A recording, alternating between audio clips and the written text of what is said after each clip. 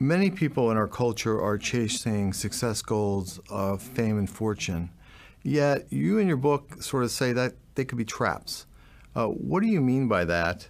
And how does your how does your book help the reader define success for themselves? Um, well, the the the culture. One of the points I make in the book is that whether we like it or not, our surrounding culture is going to create a lot of expectations for us. And when you filter that culture through the prism of a family and where, how you grew up and where you grew up and the peer group that you grew up around, you're going to have almost a hypnotic effect on what uh, people think they ought to be pursuing. And with the media that we have and the uh, celebrity culture that we have, it's very, very common to see people unconsciously adopt um, a frame of reference that if they're not famous, they're not successful. If they're not wealthy, they're not successful. And to, uh, even when they know better, continue to behave in ways that give them this sort of underlying sense of dissatisfaction if they're not famous or rich enough. So a lot of what I do in the book and in the teaching that I do is to try to give people a chance to gain a little perspective on that.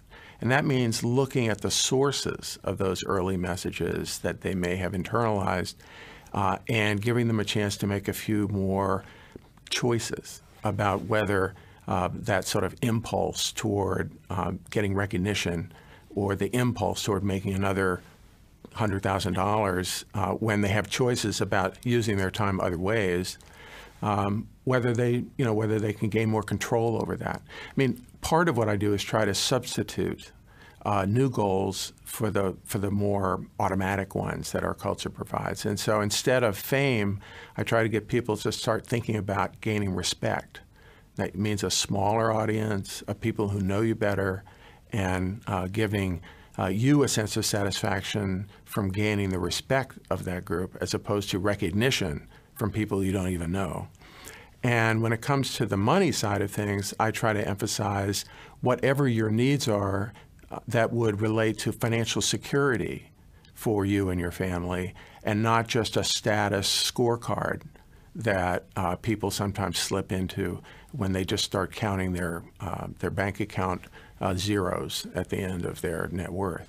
So I think part of it is helping people wake up that realize that they're being unconsciously influenced, and the other is to provide them with a more thoughtful alternative that, when they think about it, actually is something they'd much rather pursue.